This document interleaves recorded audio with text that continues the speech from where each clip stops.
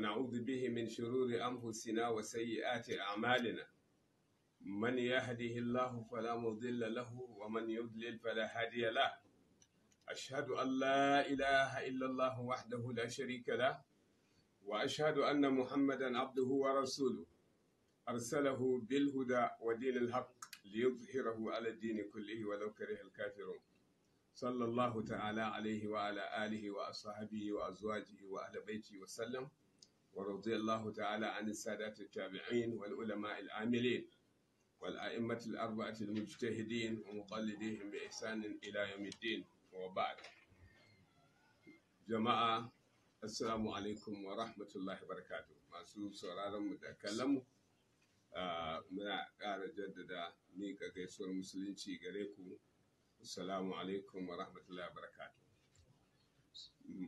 yau har yanzu za mu ci gaba cikin yardar Allah subhanahu wa ta'ala da ainihin karanta tare da bayani gwargwadon hali akan abin da ya sauƙaƙa daga cikin ayoyin alkur'ani mai girma. Idan ba manta ba yau talata muna ainihin sha tara kenan ga watan ramadan na shekarar nan ta 1441 wanda ya daidai da sha biyu ga watan biyar shekara ta 2020 miladiyar annabi isa yin tarihin ya inganta. Barkanmu da sake saduwa. Daga wannan majalisi mai albarka majalisin abin da masallacin kandahar da ƙofar kaura katsina wanda a wannan shekara yake zo muku daga gida. Yan uwa musulmi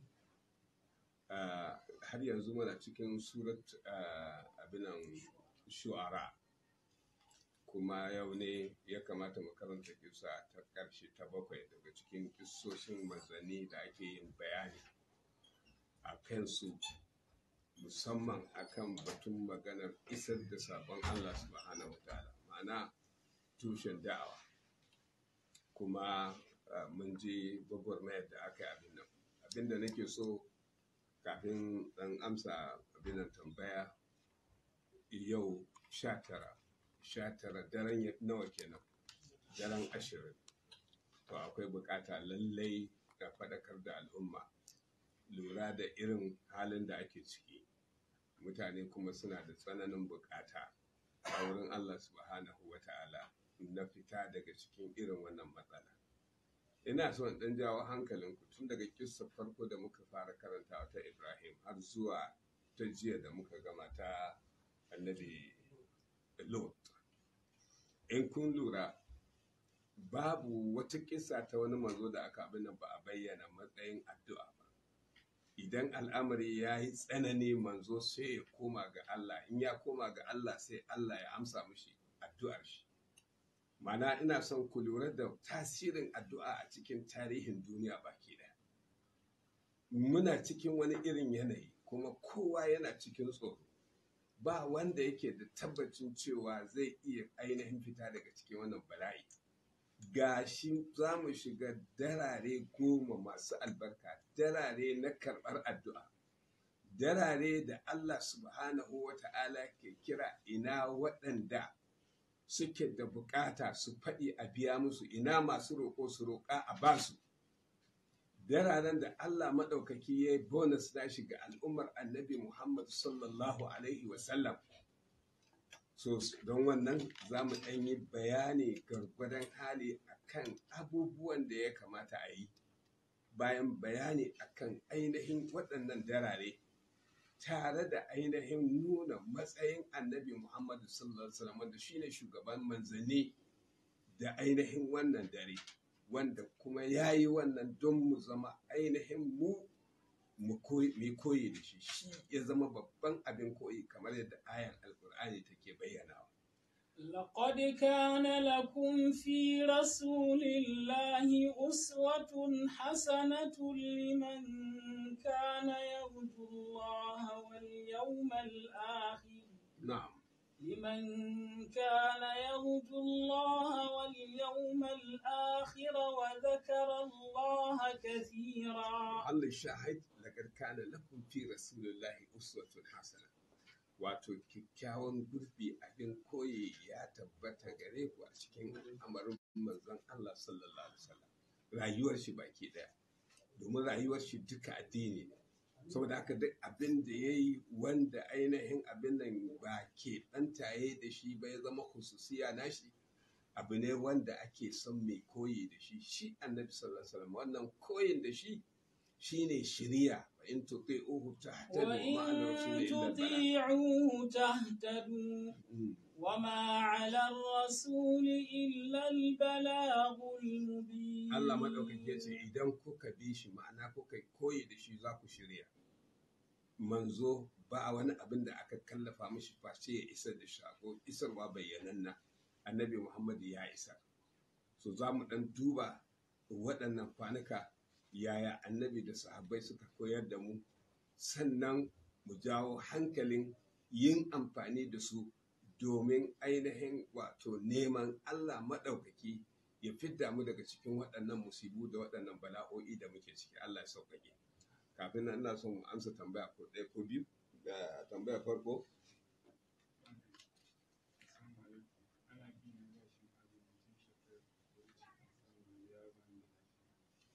Duk wanda bai da lafiya ba zai iya yin azumi ba. An samu tabbacin wannan daga likita wanda yake masani musulmi wanda an tabbatar musulmi ne to zai ci gaba da zama ba tare da yana yin azumin shi ba.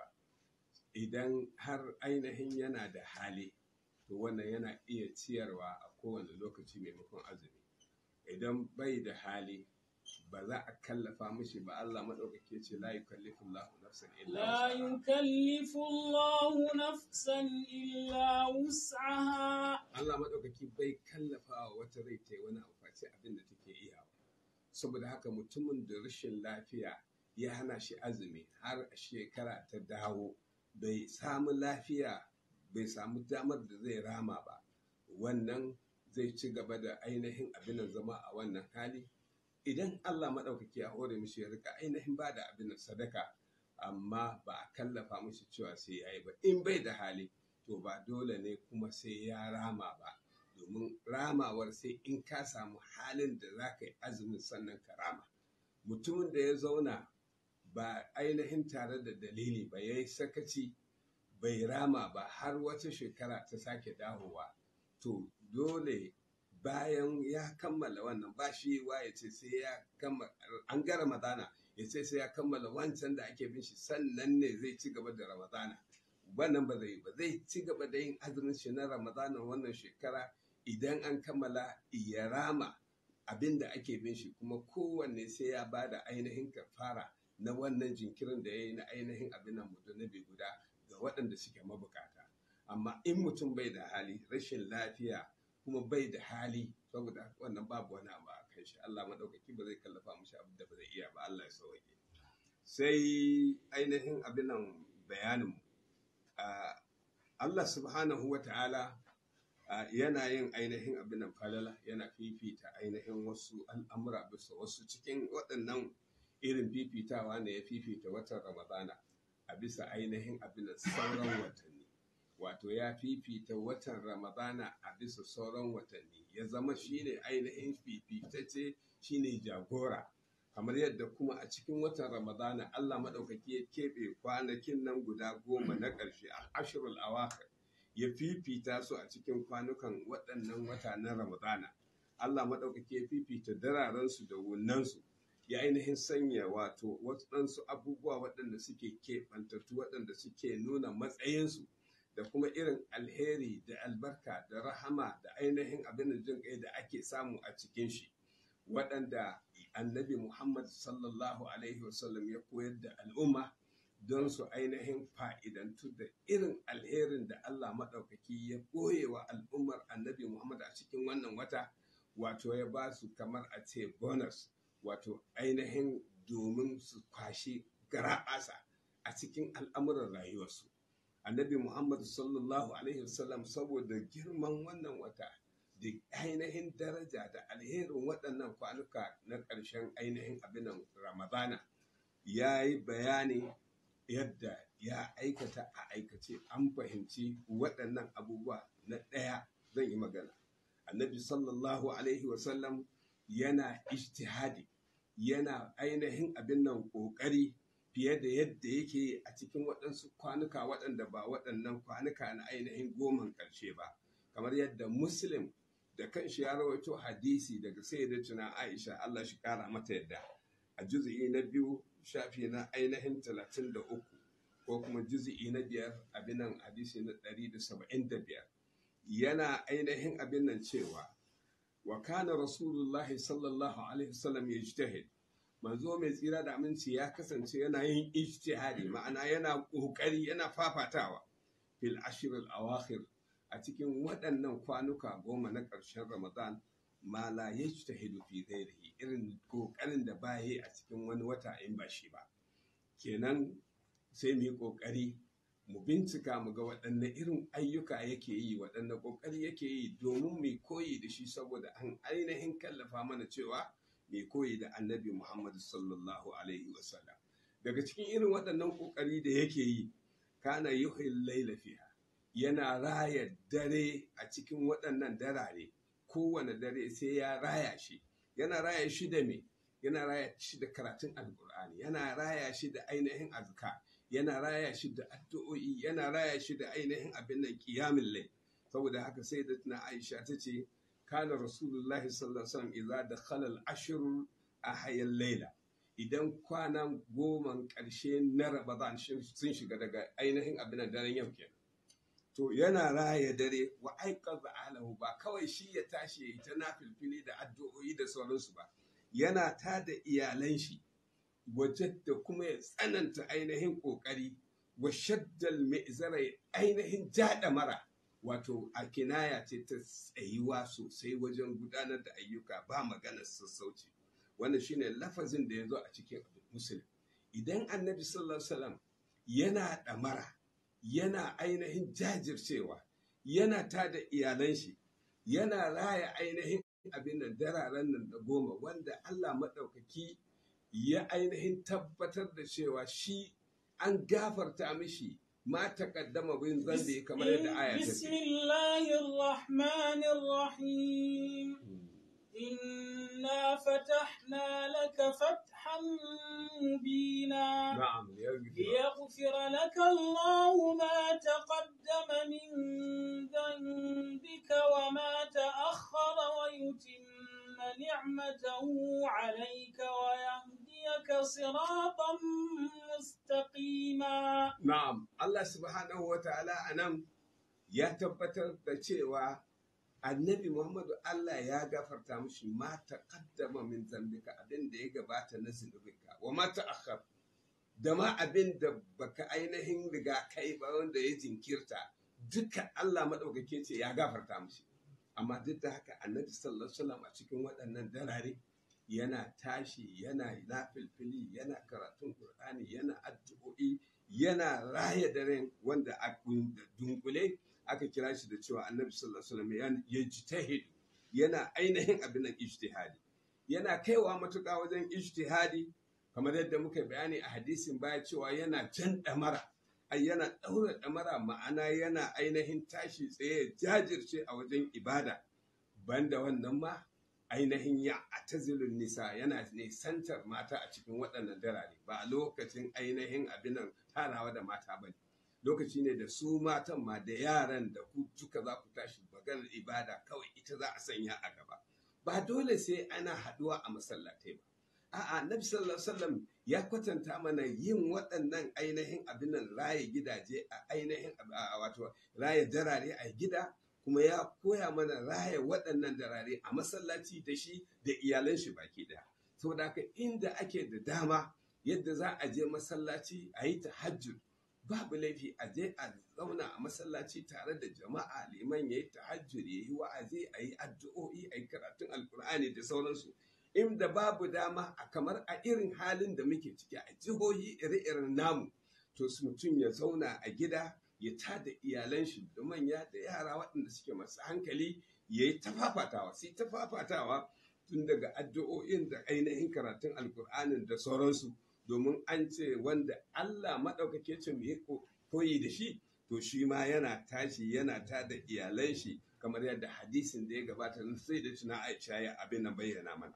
Saboda haka duk abin da ainihin mutum yake iyawa na aiki na alheri hadda ainihin yin sadakoki da sauransu da ciyar da abinci da sauran ayyuka na da'a da ainihin ƙoƙari a yi amfani da lokuta kada a bar su a yi wasa da su mutum ya ganimanci ainihin lokacin da yake da shi ko da da rana ne da sauransu a cikin dukiyar shi a cikin ainihin abin nan aikin shi da makamantansu to ya ƙoƙari ya fifita ayyukan alheri a cikin ranekun waɗannan ainihin kwanuka guda goma da kuma su da kansu dararen musamman domin ya samu irin alherin da ake samu a ciki.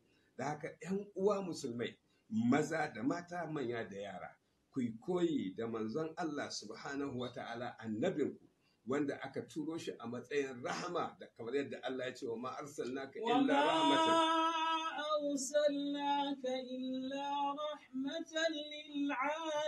kamar yadda Allah ya ce ba mu aiko ka ba rahama ga talikai baki ɗaya abubuwan da duk yake mai koyi da shi wannan da kanshi ainihin abin rahama ne. Annabi sallallahu alaihi wasallam shine babban abin koyi. Mu yi ƙoƙari mu ainihin zage damtse. Jajirce wajen ibada wajen bautatawa ubangijinmu. Kada mu ainihin abin nan tozarta mu ainihin ɓata lokuta a wajen ainihin hirace-hirace da kallace-kallacen drama da ainihin abin nan fina-finai waɗanda ba su da wani abin nan alheri. Yi ƙoƙari ka koma ganawa ka gaba ɗaya throughout a cikin dararen nan ta zama tsakaninka da Allah subhanahu wa ta'ala da littafin Allah tsakaninka da littafin Allah hanyar silawa da makamantansu.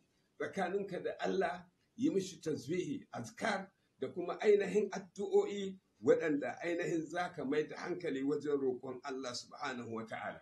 Ka roƙa wa kanka a duniya ka roƙa wa kanka gobe kiyama alheri ka roƙa wa zuriyarka ka roƙa wa ‘yan uwanka ka roƙa wa sauran al'ummar musulmai ka roƙa wa ƙasarka da sauran ƙasashen musulmai ka roƙa wa duk ainihin abinan wani wanda yake da buƙatar ko tsananin buƙatar addu'arka.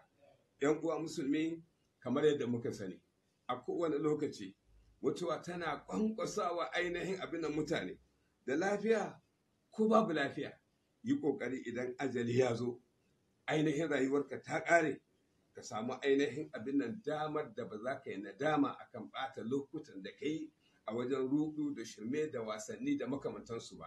yi ƙoƙari ka yi amfani da wannan lokaci kamar yadda muka jawo hankali a yi amfani da ainihin sauran kwanukan da suka gabata na ramadana ta hanyar yin tarawihi da makamantansu tare da shi da kanshi azumin da tsare shi da kare shi da tsare ainihin wajibai da sunnoni da mustahabai da makamantansu to wannan wata ka tashi tsaye dan uwa musulmi yana daga cikin ainihin abu na biyu falalar waɗannan ainihin abinan kwanuka guda goma da abubuwan da suka keɓanta da shi su waɗannan ainihin abinan kwanuka wato kasancewar Allah maɗaukaki ya sako mana lailatul qadari ya keɓe waɗannan abinan abinan kwanuka guda goma cewa lailatul qadarin nan ku neme su a cikinsu. Daga cikinsu waɗannan falala da Allah maɗaukaki ya wa al'umma a cikin waɗannan darare wanda ya kamata mu yi amfani da wannan dama mu fa'idantu shine mu fahimci cewa ci ainihin abinan watan da su ainihin abinan waɗannan kwanuka cewa Allah subhanahu wata'ala ya saukar da alƙur'ani a cikinsu. Inna anzalnahu fi lailatul qadri. bismillahir rahmanir rahim inna anzalnahu fi qadr bayanan Allah madaukaki a cikin wannan ainihin aya ya tabbatar da cewa mu mun saukar da shi. Shi ɗin nan zamiri ne yana kuma akan me? Alqur'ani mai girma. Mun saukar da shi a yaushe? Fi lailatul qadri a cikin daren lailatul qadri. Al'umma ba ta da wani alherin da Allah ya saukar mata da gare shi da ya wuce alqur'ani mai girma. Tun daga ainihin mutanen farko har zuwa ƙarshe ba a samu alherin da ya wuce saukar da alkur'ani mai girma a cikinsu ba. Daren da aka saukar da wannan alkur'ani a cikin dare ne mai girma dare ne mai alfarma dare ne mai albarka dare ne mai daraja dare ne wanda bai kamata a bar shi ya tafi haka ba tare da an raya shi ba. Kamar yadda Allah subhanahu wa ta'ala ya faɗi a cikin suratul dukhan inda Allah ya ce hamin حامين والكتاب المبين بسم الله الرحمن الرحيم. حامين والكتاب المبين. نعم. إنا أنزلناه في ليلة مباركة. إنا كنا منذرين. سورة الدخان آية 201 Allah subhanahu wa ta'ala ya ce haka ne ko? Ta ɗaya da biyu aya ta ɗaya da biyu Allah subhanahu wa ta'ala yana cewa hami wal kitabil mubin. Yace inna anzalnahu fi lailatin mubarakatin. Lalle mu mun saukar da shi alqur'ani a cikin wani dare wanda shike mai ainihin tarin albarka. Inna kunna mundiri lalle mu mun kasance abin nan masu gargaɗi. Saboda haka waɗannan ayoyi sun tabbatar mana da cewa alƙur'anin nan mai girma an saukar da shi a cikin waɗannan ainihin abin darare. Don haka wannan ainihin dare kuma a nan cikin wannan aya ta ƙarshe Allah ya ambace shi lailatin mubaraka. Dare wanda ke cike da albarka. In aka ce dare wanda ke cike da albarka duk wani alheri da kake nema. duk wata ni'ima da kake nema duk wani ɗaukaka da kake nema duk wani ainihin abin nan eh, kusanci da kake nema da Allah da makamantansu nema a cikin wannan dare cike ke da albarka da yadda Allah. Allah subhanahu wa ta'ala zai abin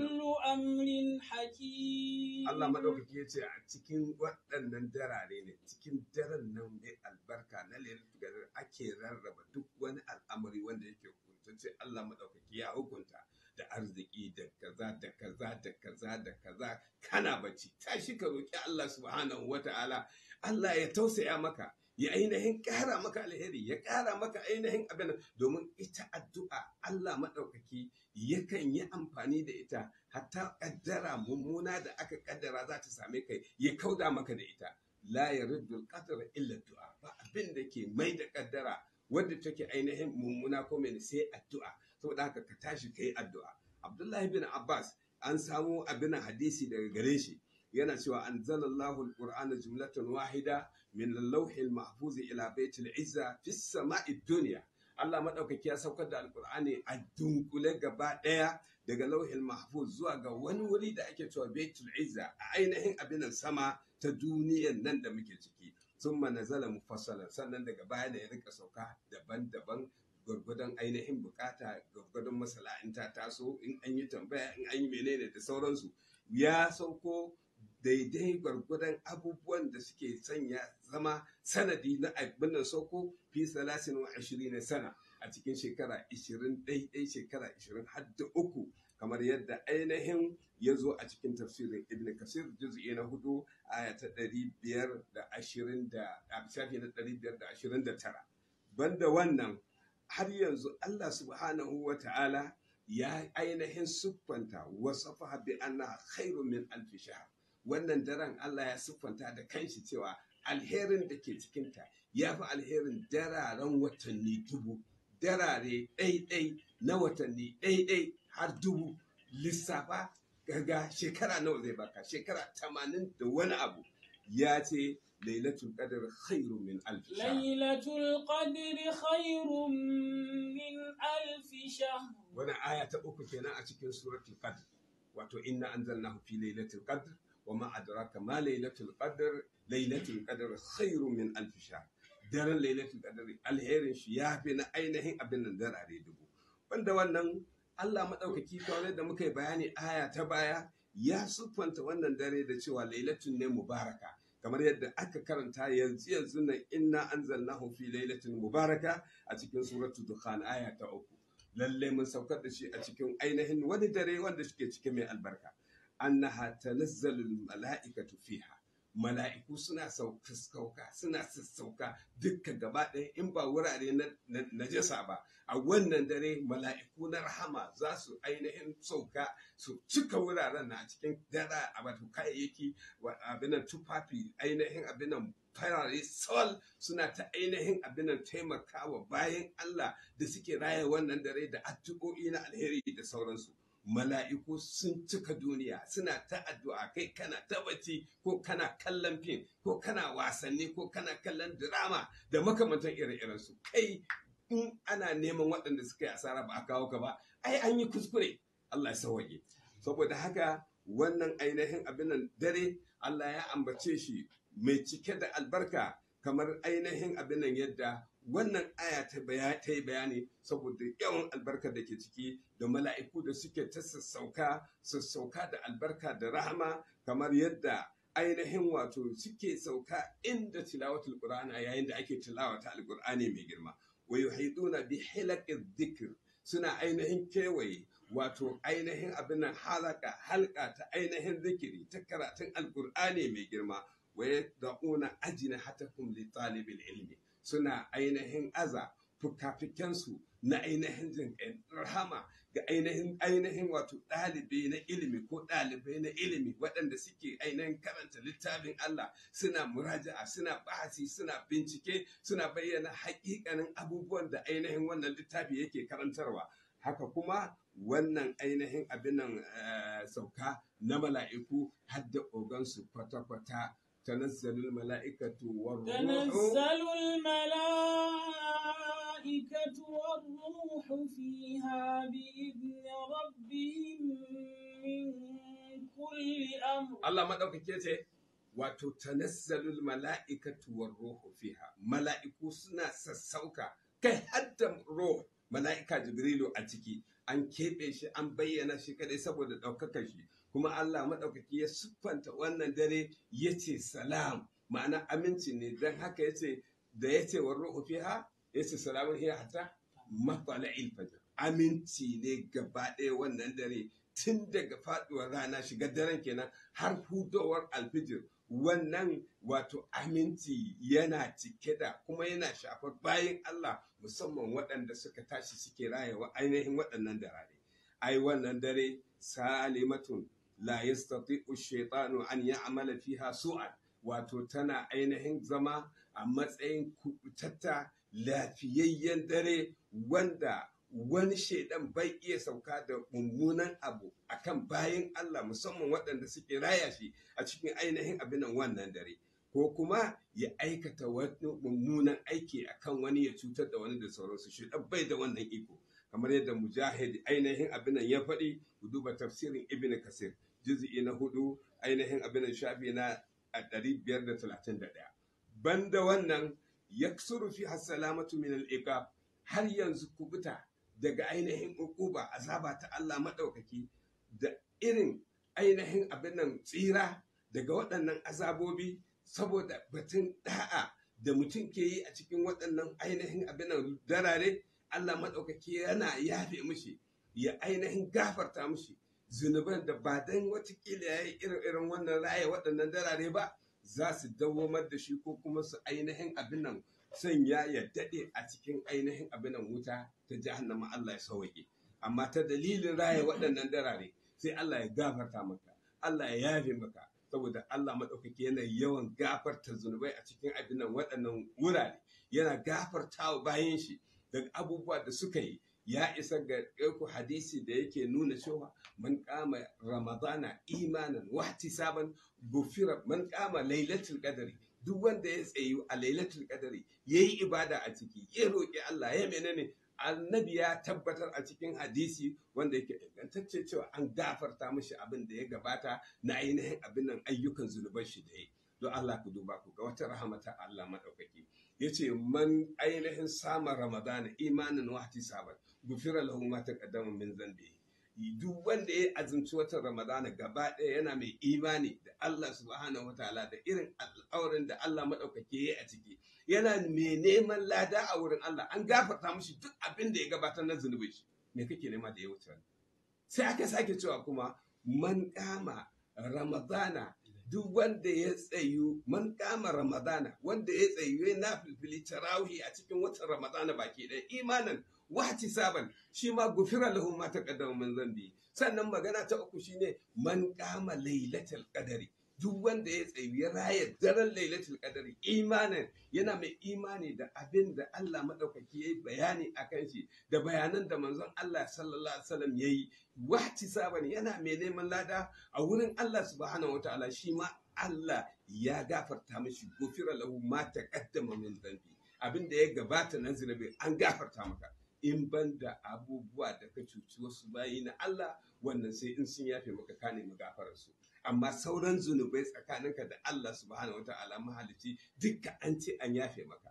Don me mutum zai yi sakaci? Mutumin da ya san akwai ranar lahira akwai tashin alkiyama akwai wuta an tattale ta saboda waɗanda suka yi sabo waɗanda ba su tuba ba. Don me za ka zauna kana ainihin sakaci? Ga wannan garaɓasa. Allah subhanahu wa ta'ala ya baka manzo mai tsira da aminci as-sadiqul masduq ya tabbatar da wannan. Saboda haka ƴan uwa musulmi maza da mata manya da yara mu tashi tsaye mu fafata mu ta ainihin neman rahmar ubangiji. Kada mu yadda mu yi sakaci ko ba lafiya ko mene don dan zai ta kawo maka wasu abubuwa kana jin bacci kana kaza kaza kaza. Wallahi annabi sallallahu alaihi wasallam faɗa mana ko bai da lafiya. Yana tashi ya jingina ya raya wannan darare. Kana iya raya shi da sallah kana iya raya shi da zikiri kana iya raya shi da karatun alkur'ani da istighfari da sauran ainihin ibadoji waɗanda aka yi bayani. Saboda haka ko da ka ji jikinka yana wani nauyi nauyi ko bacci bacci ko menene yi ƙoƙari kai faɗa da wannan baccin da menene. Shi ɗaya ke ƙoƙari ya haramta maka samun wannan alherin da Allah maɗaukaki ya tattala wa bayan shi a cikin ainihin abin nan waɗannan kwanuka waɗanda za mu shiga.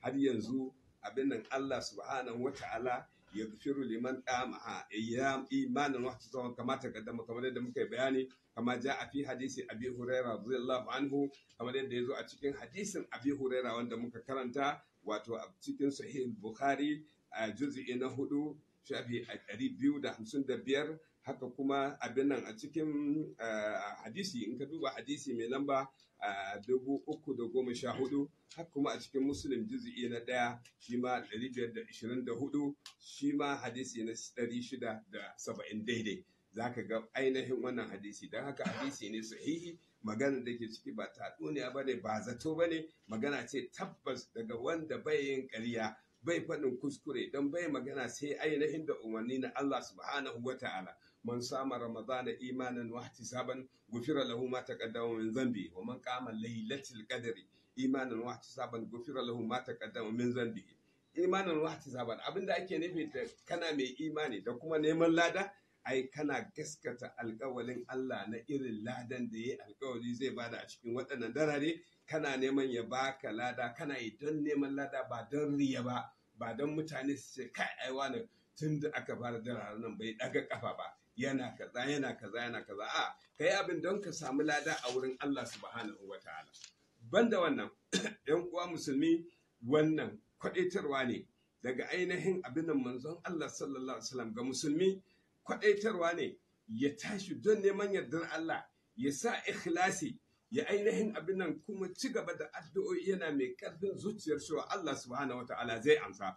Wali za kana nabi sallallahu alaihi wasallam yaltamisu hadhihi al-laila don haka annabi sallallahu alaihi wasallam yana neman dacewa da wannan dare wa taharraha yana ta ƙoƙarin kirdadan wanne ne wannan dare? Musabaqatan minhu ila alkhair don ainihin gaggawa da rige-rigen wato samun ainihin abinan alheri.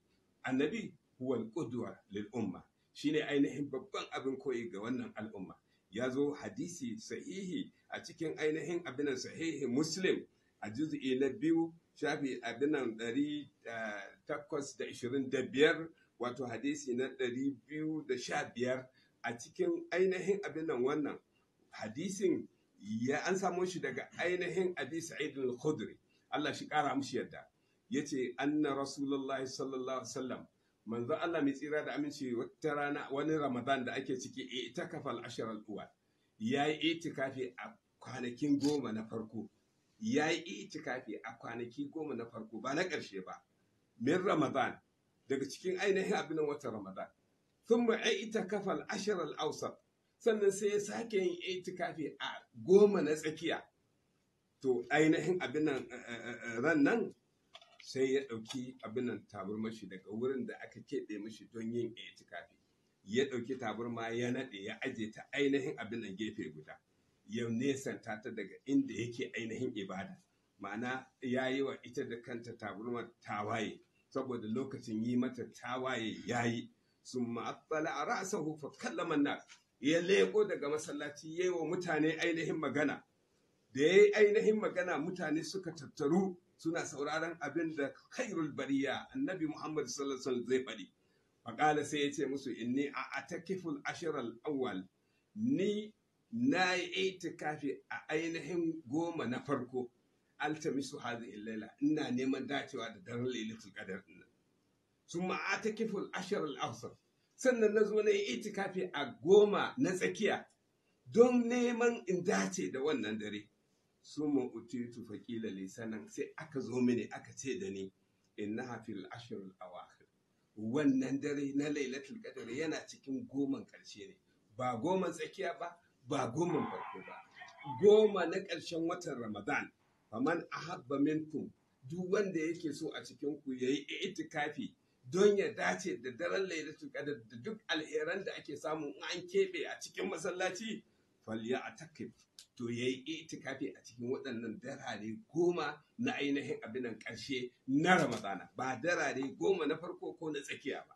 Saboda haka wannan ma ya ƙara nuna mana tsananin kwaɗayin annabi muhammad sallallahu alaihi wasallam na cewa lalle ya raye waɗannan darare saboda ya san alherin da ake samu a ciki. Kai kai mabiyin annabi muhammad sallallahu alaihi wasallam. Kai mai cewa kana son ka tashi da annabi sallallahu alaihi wasallam tare da annabi ku shiga aljanna.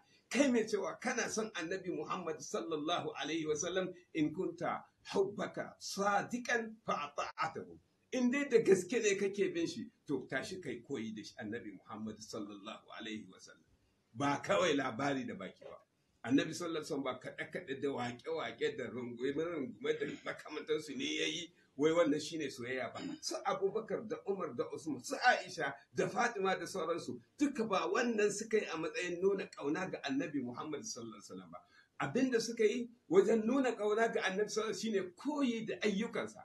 Dan haka kamar yadda muka yi bayani zaka ga sahabin annabi sallallahu alaihi wasallam ya zo wucewa akan hanya ya tsaya wani wuri ya kewaya ya kewaya. Aka ce saboda me? Sai sai na ga annabi ya kewaya a wannan wurin da ya zo. Ko kuma kawai ana abin nan a ga mutum dariya. Da an tambaye shi saboda me? Yace saboda ainihin na ga annabi ya yi dariya daidai irin wannan hali daidai irin wannan lokaci. Ku duba Umar bin Al-Khattab da ya je ainihin abin nan Hajjul Aswad ya ce na sani kai dutse ne baka cutarwa baka amfanarwa.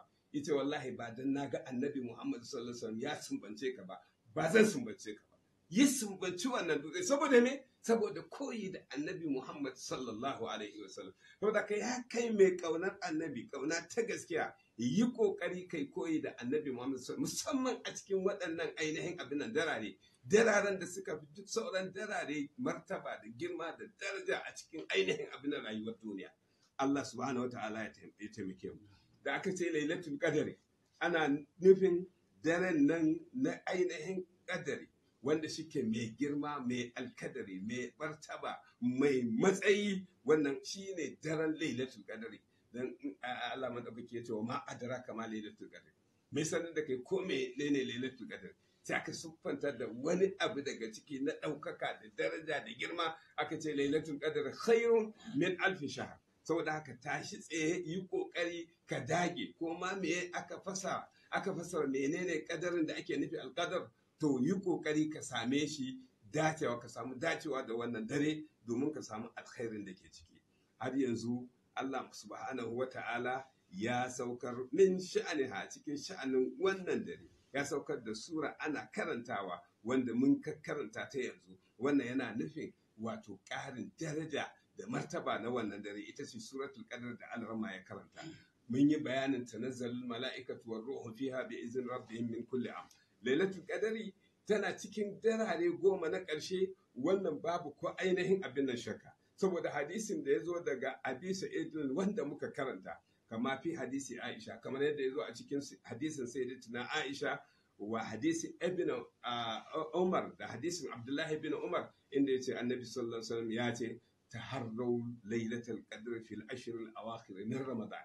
Ku yi ƙoƙarin kirda don dacewa da daren lailatul qadri a ainihin cikin goma na ƙarshe na ramadan. Wannan lafazin sayyidatina aisha kenan. Don haka har yanzu Allah maɗaukaki cikin ikon shi da rahamar shi da baiwar shi ya sa annabi Muhammad sallallahu ya ƙara yi mana bayanin yadda dai za ka yi ƙoƙari lallai ka dace da irin wannan ainihin abin nan dare a wajen ibada da sauransu. Ya ce in kun tashi nema da zage dantse da yin ƙoƙari ijtihadi to ku yi a cikin auta wato mara na waɗannan abin nan darare. Abin da ake kira mara shine lissafin da akwai ɗaya wanda babu ɗan uwan shi kamar yadda za mu yi bayani yanzu. Sai da tuna aisha ta faɗi ta ce annabi muhammad sallallahu alaihi wasallam ya ce taharrau lailatul qadr ku yi kirdajen samun dacewa da daren lailatul qadr fil wutri min al ashr al awakhir. A cikin wutri na ainihin goman ƙarshe wato abin ainihin da wannan hadisi Buhari rawaito shi abin da ake nufi da goman ƙarshe tutlabu lailatul ihda wa ishir za a nemi dacewa a zaki damtse a yi mara sosai a daren 21 yaushe kenan daren 21 yau daren 20 gobe daren 21 wa lailatu 23 da kuma ku sake dantse a daren wato ainihin 23 kaga an samu mara. 20 tana da kowanne ɗaya tana da ɗan uwa biyu tana da ɗan uwa amma na ɗaya fa na uku babu. Yi kuma yi bayanin cewa wa lailatu saba'in wa ishirin da kuma daren ishirin da bakwai. Shi ma nan kaga an samu mara na cikon bakwai. Domin sai an samu takwas sannan za a samu cika. To ku neme shi a cikin daren wannan ishirin da bakwai din wa lailatu tis'in wa ishirin har kuma ku neme shi ku ƙara zage da a cikin dare na abin nan ishirin da tara. Shi ma kun ga an samu ainihin abin nan mara kenan. Ma'ana abin da ake nufi ana ƙara jawo hankalinku ku. Raya waɗannan darare goma. Ku yi ƙoƙari amma ku fi yin ƙoƙari da ainihin abin nan nacewa a cikin mara daga cikin waɗannan kwanukan goma na ƙarshe kamar yadda aka yi bayani. Don haka sai ya kunu bi itibar ma baki kama ƙala nabi sallallahu alaihi wasallam. Sai ainihin ana lura da marar akan abin da ya rabu kamar yadda annabi ya ce at-tasi'atu tabqa. Yayin da kwana tara ya rage. Shine daren me kenan? Daren ainihin abin a ashirin. Lissabi atin tabqa yayin da kwana bakwai ya rage. Shine nawa kenan? Ashirin da nawa kenan? Da uku. Li khamisatin tabqa ko kuma ainihin biyar ya rage. Daren nawa kenan? Ashirin da biyar. Har kuma ya ce abinan lissalisatin tabqa ga ainihin abinan kwana uku ko dare uku wanda ya rage. Shine ranar 20 da nawa kenan? 27 shine daren 20 da ainihin abin bakwai wanda shi aka fi zaton aka fi kyautata tsammanin daren lailatul qadr. Dan daga cikin sabai akwai wanda sai da ya rantsuwa ya ce ya tabbatar wannan wa ala hada idza kana shahru 30 akan wannan in wata yana da kwana 30 to ya kunu zalika layalil ashfa. Ainihin waɗannan darare na wuturi abin nan na cika za su kasance da kunu isnaini wa 20 ba ainihin wahid wa ishirin ba. Tisa tabka wa lailatu arba'in wa ishirin ba ainihin abinan salasin wa ishirin ba. Sabi'atun tabka wa haka haka ainihin abinan bayanin yake. Saboda haka idza kana al'amru kadhalik idan al'amari ya zama bisa wannan lissafi da hadisai suka yi bayan bagi an ya taharra al mu'min ya kamata mu'mini yayi kirdadon dacewa da ainihin wannan dare na lailatul qadari fil ashr al awakhir jami'i. A cikin goman ƙarshe duka kada ka da ko ɗaya ka yi asara. Duka ka zage damtse. To da kayi wannan tabbas in Allah ya sauka dace da lailatul qadari Allah ya sa mu dace. Wa arjaha daren da aka fi ƙauna aka fi ainihin abin nan tunanin lalle a cikin shi ne daren lailatul qadari yake shine as-sab'ul wato ainihin abin nan bakwai na ƙarshe kama za a fi hadisi ibn umar. Wato ya rage kwana uku abin nan ya ƙare kenan. Kamar yadda ya zo a cikin hadisin Abdullahi bin Umar ya ce anna rijalan min ashabin nabiyyi sallallahu alaihi wa sallam cewa lallai wasu mazaje daga cikin sahabban annabi sallallahu alaihi wasallam uru lailatul qadr. An nuna musu daren lailatul qadr fil manami a cikin bacci fi as-sab'il awakir a cikin ainihin goman abin bakwai ɗin nan na ƙarshe. Daga cikin goman ƙarshe din a cikin bakwai na ƙarshe. Shine zai zama nawa kenan? 20 da 20 da nawa? 27 kenan. Ya ci gaba yana cewa faman kana mutaharriya. Duk wanda ya kasance yana ƙoƙarin ya kirda don dacewa da ainihin abinan wannan ainihin abinan rana falyata harraha fi sab'il awakhir. Ya ainihin yi ƙoƙarin neman dacewa da ita cikin bakwai ɗin ƙarshe. Mutafaqun alaihi hadisi wannan bukhari da muslim duka ainihin abin sun rawato shi. Maluma sun yi saɓani fi ta'ayyini wajen ayyana haƙiƙanan ayyana lailatin min layalil ashir wace dare ce daga cikin daren nan guda goma bina'an ikhtilafil adilla. Saboda saɓanin da aka samu wajen kawo ainihin abin nan dalilai na tabbatar da cewa a rana kaza ne. Wa qad jaa fi hadisi abi sa'id al-sabiq ya zo a cikin hadisin abu sa'id al-khudri wanda ya gabata inda ya ce wa qad ra'aytu hadhihi al-layla fa unsituha. Na ga wannan dare tabbas amma sai aka mantar da ni ita. Wa qad ra'aytuni na gane asjudu fi ma'in watinin ina yin sujada a cikin ainihin ruwa da ainihin abinan tabo. Wato har dare abinan wannan abinan dare har ruwa aka yi.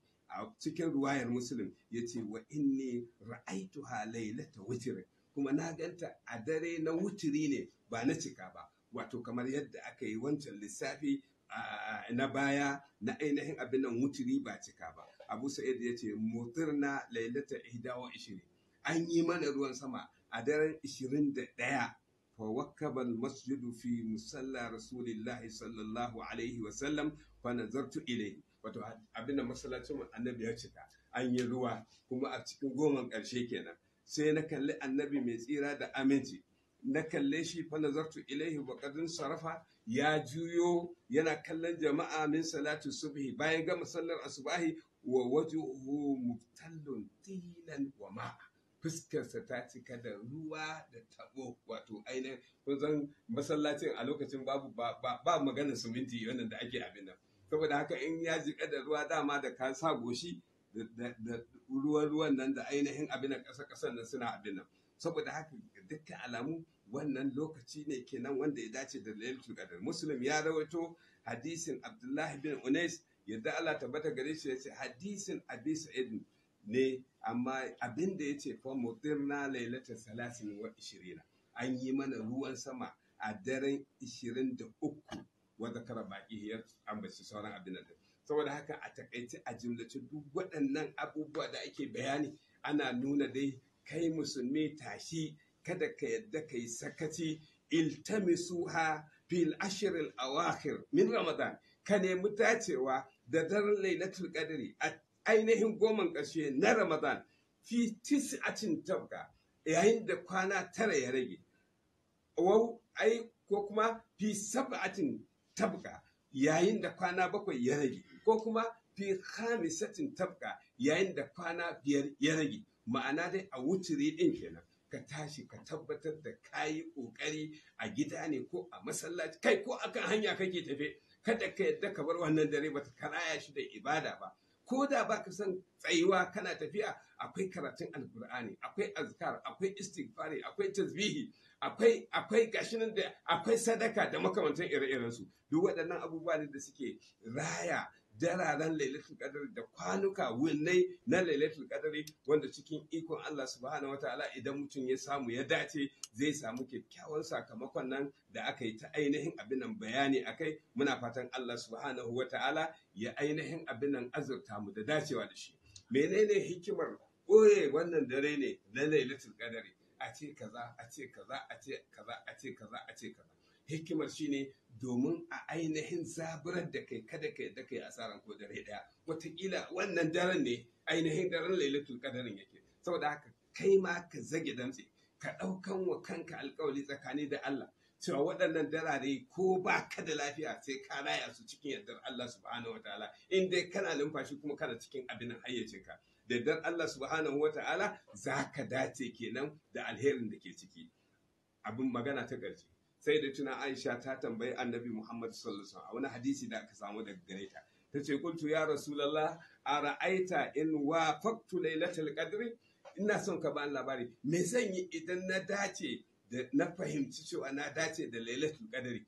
Lalle na fahimci wannan ainihin dare lailatul qadri ta hanyar alamomin shi da siffofin da aka yi bayani da makamantan ire-iren su annabi sallallahu alaihi wasallam ya ce kice Allahumma innaka afuwun karimun. Tuhibbul afwa fa'fu anni Allahumma innaka afuwun karimun tuhibbul afwa fa'fu anni Allahumma innaka afuwun karimun tuhibbul afwa fa'fu anni wannan shine riwaya da aka samu daga Imam Ahmad da Tirmidhi da Ibn Majah. Idan muka duba za mu ainihin abin ga wannan. Fatan da muke da wannan matashiya ta zama matashiya ga sauran ainihin 'yan uwa musulmai a duk inda suke ya kasance mun yi amfani da waɗannan darare mun nemi rahamar ubangiji mun nemi ainihin baiwa da ni'ima ta Allah maɗaukaki a nan duniya da kuma gobe kiyama. Mu yi tawassuli da waɗannan ibadoji da waɗannan addu'o'i mu roƙi Allah mai karɓa ainihin abinan addu'a wanda ya ce mu roƙe shi zai amsa mana wanda bai karya alƙawali ya faɗi a cikin alkur'ani wa idza sa'alaka ibadi anni fa inni qarib. sa'alaka ibadi anni fa inni qarib. Na'am. Ujibu da'watad da'i idza da'a. Ya faɗi a cikin alkur'ani ya ce wa annabi Muhammad sallallahu alaihi wasallam wa idza sa'alaka ibadi anni. Idan bayina sun tambaye ka ni ya rasulullah fa inni qarib. Faɗa musu ina kusa. In sun tambaye ka nesa nake ko kusa nake? In za su kira ni a riƙa daga murya Allah Allah ya Allah ya Allah ko kusa nake? Su riƙa ainihin abin da saukar da murya suna ainihin tawali'u da abin da ka faɗa musu fa inni qarib ni ina kusa. Ujibu da'wata da'i iza da'a. Ina amsa addu'ar mai addu'a. Roƙon mai roƙo idan ya kiraye ni ina amsa mashi. Allah ne yake cewa in ka roƙe shi zai amsa maka. Me kake jira? Yaushe kake da lokacin kallon drama? Yaushe kake da lokacin kallon fim?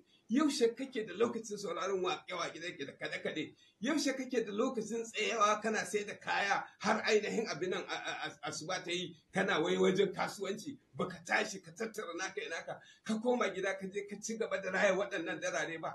Don me ka bari rana ta faɗi kana ainihin can kana sharholiya? Baka bari kana gida ko kana masallaci a inda ake haɗuwa a masallaci ana abin nan ka fuskanci Allah kana ibadoyi da makamantarsu kana neman rahmar Allah subhanahu wataala kana neman ya maka afuwa kana neman ya gafarta maka kana neman ya yaye wa duniya wannan bala'in da ake ciki kana neman ya yaye wa ƙasar ka irin wannan bala'i da ake ciki. Don me ba za ka koma ka fuskanci Allah subhanahu wataala ya shiryar maka da shugabanninka da ya azurta ka da su a cikin wannan ƙasa ta sauran ƙasashen musulmi ba? Don me ba za ka roƙi Allah? Allah ya shiryar da kai ya shiryar da ƴan uwanka da sauran jama'a ba? Don me ba za ka roƙi Allah Allah maɗaukaki ya baka cikawa da imani ba? Saboda ka ƴan uwa musulmai lokaci ne mai tsada dama ce kake da ita wadda ka samu wanda da yawa waɗanda sun so su sake samun wannan dama. A shekarar da ta wuce su sake dacewa da wannan shekarar Allah ya amce abin shi. Sun tafi suna da burin su ainihin raya waɗannan darare amma Allah bai ainihin so musu ba. Kai Allah madaukaki ya azurta ka ya kawo ka wannan lokaci ya baka wannan dama ya baka lafiya ya baka hankali ya baka ya baka gani. Don me ba za ka tashi kai amfani da wannan ainihin abin nan dama ba? Ya Allah muna roƙonka ka amsa mana addu'o'in Allah ka sanya mu cikin bayinka waɗanda ka azurta da dacewa da dukkan alkhairan da ke cikin waɗannan darare. Ya Allah muna roƙonka ka amsa mana addu'o'in ka yaye mana ainihin abin abubuwan da suka dame mu. Allah ka yafe mana kurakuran mu. Allah ka ji kan iyayenmu da kakanninmu da ainihin shugabanninmu waɗanda suka rigaye mu gidan gaskiya. Wannan bala'i da muke cikin shi Allah ka yaye mana. Waɗanda ka anshi rayuwarsu a ciki Allah ka sanya musulmai daga cikinsu sun yi shahada. Waɗanda suke ainihin fama da rashin lafiyar Allah ka yaye musu. Waɗanda ka tsare ya Allah muna roƙonka ka ƙara tsare su.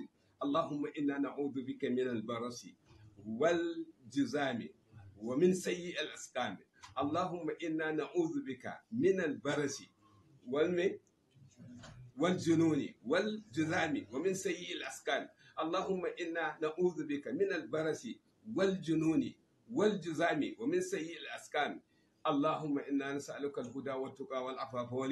واغفر لنا ذنوبنا وكفر عنا سيئاتنا وتوفنا مع الأبرار اللهم وفقنا بقيام ليلة القدر اللهم وفقنا بقيام ليلة القدر سبحان ربك رب العزة عما يصفون وسلام على المرسلين والحمد لله رب